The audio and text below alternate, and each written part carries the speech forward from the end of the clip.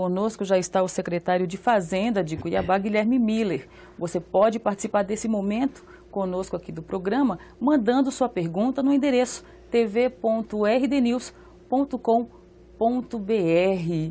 Bom dia, secretário, seja bem-vindo. Bom dia, Ana Maria.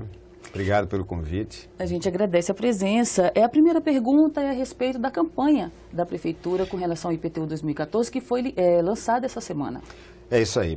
Eu agradeço, inclusive, o convite, porque é uma forma de divulgar o que vai acontecer com esse tributo, que, na, na verdade, todo mundo acompanha o IPTU, porque é o, é o tributo que, de uma forma ou de outra, todo mundo que mora em Cuiabá se relaciona com o IPTU. É, é, inclusive o IPTU é chamado o, o, tributo cidadão, porque você morando numa cidade, naquele local que você mora, você tem que pagar IPTU. Onde você trabalha, paga IPTU. O que aconteceu essa semana foi informar a população das regras estabelecidas pelo IPTU de 2014.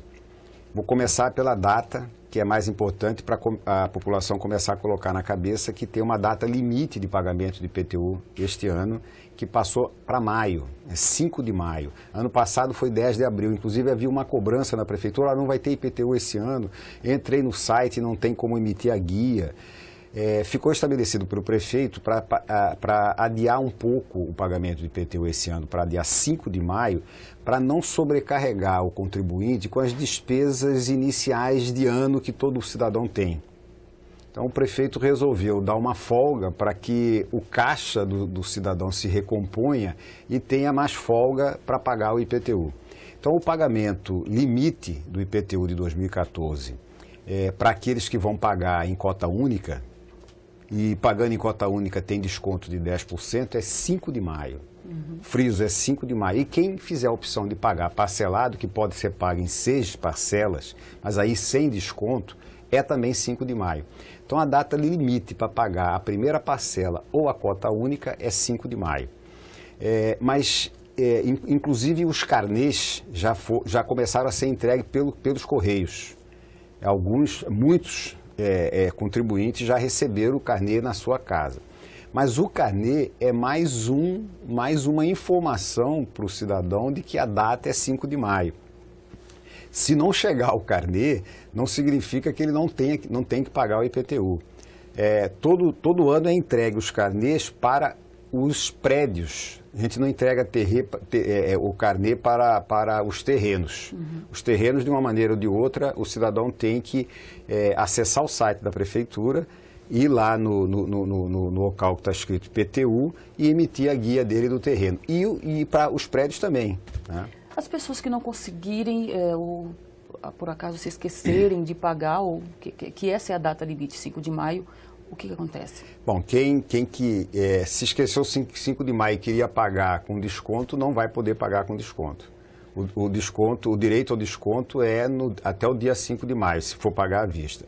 Se, se, não, se não pagar a primeira parcela no dia 5 de maio, ele pode pagar em qualquer momento, mas aí vai ter juros por, pelo atraso do pagamento. Qual é a previsão, secretário, de arrecadação para esse ano?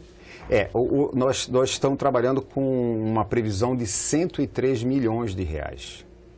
É, 103 milhões significa que é 20% a mais do que nós arrecadamos em 2013, que foi 85 milhões e meio, que já tinha sido em 2013 30% a mais do que 2012. É, então a, a, expectativa é ultrapassar a centena de milhões de reais de IPTU, que é extremamente importante para a cidade. No, na, na, medida que é, o IPTU era um, era um imposto, você ter uma ideia, Ana Maria, há cinco anos atrás arrecadava em, em números redondos 20 milhões de, de reais de IPTU. Quer dizer, nós estamos nós pretendendo arrecadar 103 milhões e sem nenhum aumento de alíquota. Quer dizer, o, o, o cidadão que vai, vai pagar o IPTU esse ano vai ser o mesmo do ano passado, com acréscimo apenas por uma exigência legal da correção monetária pelo IPCA, que é 5,84%. Esse aumento na arrecadação deve-se ao, aumento também do número de contribuintes ou houve uma, um cálculo que chegasse a esses valores? Não, não só aumento do contribuinte, quer dizer, é uma centenas de imóveis, milhares de imóveis estão entrando para a base, Quer dizer, Cuiabá passa por um boom imobiliário, isso contribui para a transformação daquele imóvel eh, em dezenas, em centenas de imóveis novos em cada, em, cada, em cada uma das unidades, ou seja, aumenta a base cadastral do município. E, além disso, houve um, um, um, um fato muito importante e, é, e tem que ser registrado, que foi a redução da inadimplência. Quer dizer, quando a gente arrecadava em torno de 20 milhões de reais, quando a prefeitura arrecadava em torno de 20 milhões, a inadimplência girava em torno de 50%, 55% na média. Hoje, em 2013, ela foi 35% na média.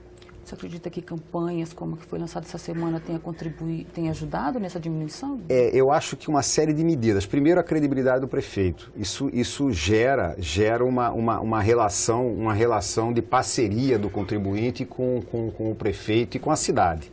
Né? Segundo, é, além dessa parceria, o prefeito, o prefeito tomou medidas no sentido de quem não deve tem que pagar e, quem, e, e, e, e se não pagar vai ter que ser cobrado e vai ter que ser cobrado judicialmente, inclusive com medidas de judicialização, não só de judicialização, mas de negativação do, do, do, do do, do, contribuinte que não tem seu, não está tá em dia com, seu, com, seus, com seus compromissos com a prefeitura. Então foram uma série de variáveis que acabaram contribuindo, contribuindo para que o contribuinte pagasse. E, por exemplo, é, quem tem, tem direito ao desconto quem está em dia com, com o tributo, está em dia com o IPTU. Mas quem está em débito, se ele quiser pagar o débito até dia 30, ele pode inclusive pagar esse débito parcelado. E dependendo do ano que é o débito, ele pode entrar na conciliação que está sendo feita, que tem uma vantagem imensa. Ele pode pagar em 40, 60 vezes, com desconto de juros e, e, e multa.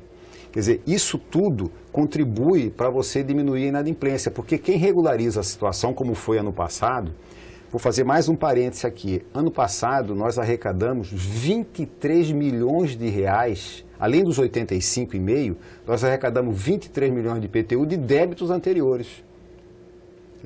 Esse pessoal que regularizou o débito anterior, regularizou o corrente e vai pagar 2014. Quer dizer, então, nossa expectativa é de que talvez a gente até ultrapasse esses 103 milhões se a gente conseguir reduzir a inadimplência. Porque a estimativa que nós fizemos é fazer com é, é, a estimativa é baseada na inadimplência do ano passado. Mas se ela reduzir, a gente acaba aumentando a arrecadação. secretário, com a arrecadação, em várias entrevistas até que o prefeito Mauro Mendes é, nos concedeu, ele disse que estava priorizando os bairros menos inadimplentes para fazer investimentos essa, essa regra, se, se é que pode se chamar é, assim, se aplica também nesse Ele ano? usou, quer usar no passado, quer, quer, usou no passado, quer usar este ano. É, e o que aconteceu é que os, os três bairros que mais pagaram IPTU, mas não é pagar em termos de valor, relativamente, que tiveram, menor, que tiveram os menores índices de inadimplência, ele assumiu um compromisso de pavimentar o bairro inteiro, arrumar o bairro inteiro. E ele fez isso nos três bairros que, que, que, que, que mais pagaram. Agora, os outros bairros, que são os bairros é, mais carentes, mais, é, é, mais, pobres, mais distantes do centro, ele tem um programa de asfaltamento também de, de, de, de mais de 16 bairros, com 150 milhões que ele conseguiu captar junto à Caixa Econômica, junto ao governo federal, e isso vai permitir o asfaltamento desses bairros que não são os que têm maiores índices de, de, de pagamento. Quer dizer, isso absolutamente esse programa só, só vai asfaltar bairro, só vai fazer serviço para aqueles que pagam, absolutamente não, porque a gente sabe que há uma diferença muito grande de renda e de, e de, e de, de desigualdade na cidade, que o gestor tem que olhar, independente se o cara está em dia ou não com, com, com os tributos. Mas ele vai continuar privilegiando os três principais bairros que têm índice de pagamento contribuinte que recebeu o seu IPTU e não concorda com o valor cobrado, o que, que tem que fazer? Boa pergunta. Esse, esse é um direito que ele tem que exercer se ele recebeu o, o, ele entrou, eu não digo nem recebeu o carnê. É, é, é, o, que, o que a gente gostaria é que a partir dessa entrevista, aqueles que estão nos ouvindo, já entre no site da prefeitura. Só basta entrar no site, clicar no IPTU, ele vai lá emitir guia com, com o número da inscrição cadastral dele, que ele tem em casa. Se ele não tem, ele liga para a prefeitura no Disque IPTU, que é 3645 6010 ele, ele vai saber quanto que é aquele valor. Se ele achar que, é, que o valor está errado, porque a gente pode ter, pode ter, nós não somos infalíveis, podemos cometer erro, se tiver errado, ele pode imediatamente pedir uma revisão. E se ele pede a revisão, mesmo que a prefeitura, por alguma dificuldade, ultrapasse a resposta de, de, depois do dia 5 de maio, ele não precisa pagar, porque ele não pede os direitos de desconto. Ele, se ele tiver que parcelar, ele não, ele não, vai, não vai pagar juros. Então, a, agora, também outra coisa, se ele pede a revisão e, e a revisão dele não procede, não, não é diferida, é, ele perde o direito ao desconto, porque ele aí perdeu o prazo. Ele não pode perder o prazo. Então, quanto mais rápido ele pedir a revisão, se ele achar que está errado, que realmente tem consistência, faça, porque para nós interessa isso, porque nós melhoramos o nosso cadastro, melhoramos o nosso lançamento. Porque tributo já é difícil pagar, e se você se você está cobrando de uma forma injusta, não tem sentido. Então, o objetivo não é esse, o objetivo é fazer com que ele pague, mas paga o que ele tem que de fato pagar. A prefeitura, o município já fez um planejamento dos investimentos desses é, 130, é, 103 milhões? 103 milhões. Primeiro tem uma, o, o IPTU é um, é, um, é um tributo que tem, independente do prefeito, independente de quem está governando a cidade, ele tem uma vinculação constitucional. É 25% no mínimo para a educação, 15% no mínimo para a saúde. É, esses dois, esses dois aqui são, são e, e, e os 4,5% para a Câmara, são obrigações constitucionais. Isso já dá praticamente 50%. Em Cuiabá, é, no orçamento desse ano, tá, é, é, 29% vai para a educação e 22% vai para a saúde. Então, isso já é lei, já é uma regra de vinculação constitucional do tributo. Agora, além disso, ano passado foi feito um trabalho que foi, inclusive, é, liderado pelo secretário de governo, o secretário Fábio Garcia, é, de levantar junto com a comunidade e garantir daquela discussão que se denominou orçamento participativo, 25% do IPTU arrecadado vai para o orçamento participativo, que já está dentro da lei orçamentária e que foi definido em conjunto com, com, com, com, com as lideranças, com a, com a população dos bairros, com, com, com a prefeitura. Nós temos aqui a participação da Ângela Silva e ela pergunta o seguinte, secretário, ela gostaria de saber é, o que o senhor esclarece, é, o, o, que esclarece o IPTU progressivo no, é, no tempo. Existe alguma ação efetiva de fiscalização por parte da Prefeitura para fiscalizar a propriedade urbana que não esteja cumprindo sua função social? Tem uma lei na Prefeitura de Cuiabá do IPTU progressivo, é, que é, que é, na verdade, um instrumento extra fiscal. Esse não é um instrumento fiscal como esse PTU que nós estamos falando.